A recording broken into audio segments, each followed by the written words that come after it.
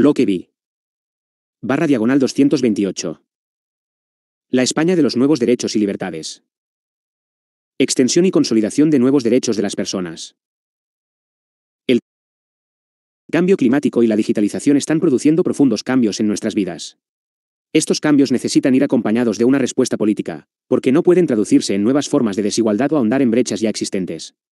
Por eso, el Partido Socialista desarrollará nuevos derechos, para garantizar la igualdad y la justicia social, que ofrezcan respuesta a los retos que se abren en la España del futuro, al mismo tiempo, estableceremos mecanismos para reforzar nuestro compromiso con la garantía de los derechos humanos y la eliminación de toda forma de discriminación.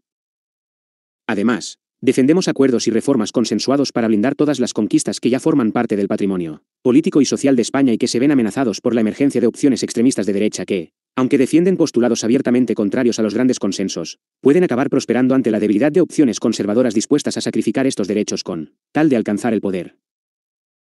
Lucha contra la discriminación y en favor de los derechos humanos. Blindaremos el matrimonio igualitario, el derecho a la interrupción voluntaria del embarazo, el derecho a la muerte digna, la asistencia de víctimas de violencia de género, el sistema público de pensiones, el derecho a la asistencia sanitaria, el derecho a la seguridad climática y al acceso al agua potable como derechos fundamentales de las personas, de modo que no puedan ser derogados o anulados por una coyuntural mayoría parlamentaria.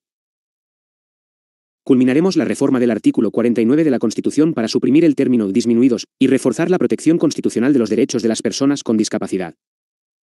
Conquistaremos la igualdad efectiva en los ámbitos de decisión de la vida política, social y económica mediante la aprobación de la Ley de Representación Paritaria de Mujeres y Hombres. Ampliaremos nuestro compromiso con el sistema de derechos humanos, mediante la implementación del Segundo Plan Nacional de Derechos Humanos, recientemente aprobado, reforzando el conjunto de tratados ratificados por España sobre derechos humanos.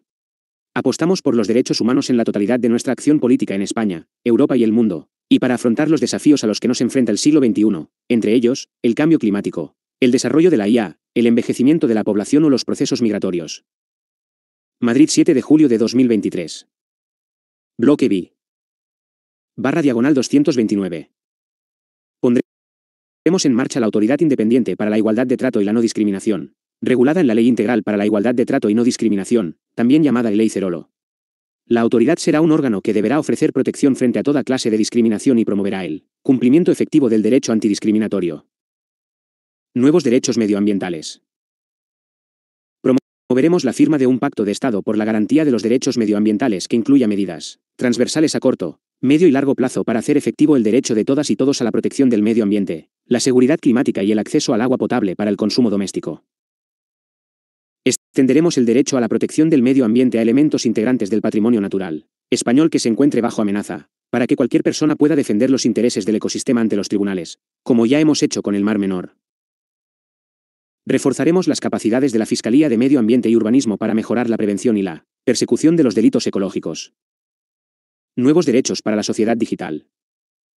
Velaremos por el cumplimiento de la Carta de Derechos Digitales, desplegando iniciativas que faciliten su conocimiento por parte de la ciudadanía y garantizando el pleno ejercicio de los derechos contenidos en ella. Mejoraremos el derecho a la desconexión digital y, en el marco del diálogo social, desarrollaremos medidas que ayuden a garantizar los derechos digitales de los trabajadores y trabajadoras. Impulsaremos nuevos derechos que protejan especialmente a los menores en el ámbito tecnológico, para garantizar su seguridad y luchar contra la discriminación y las nuevas formas de violencia. Seguiremos eliminando las barreras y obstáculos que se encuentran las personas mayores a la hora de usar y acceder a la tecnología, así como todos los elementos que contribuyen a la brecha digital de las personas mayores y de las residentes en el ámbito rural. Aprobaremos normas para establecer los requisitos y condiciones del derecho al testamento digital. Crearemos un certificado digital para medir el nivel de respeto a los derechos de ciudadanía digital de toda página o espacio web. Madrid 7 de julio de 2023.